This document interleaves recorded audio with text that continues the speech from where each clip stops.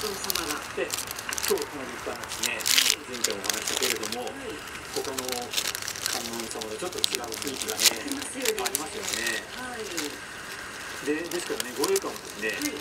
こういうご栄華ですね諸越の仏のここに吉祥の誓いはきるに照らすと無理なんとですから諸越っていうんだから最初のね照らしが諸越の仏って言ったら、はい中国に渡った円月さんがそういうまああの中国のこう仏教を学んできたと。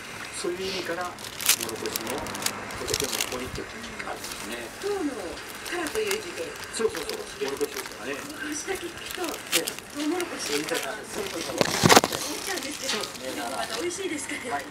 そうではなくて、だから、唐の国のっていう、はい。モロコシというのはね、はい。唐の国の仏の国なんですね。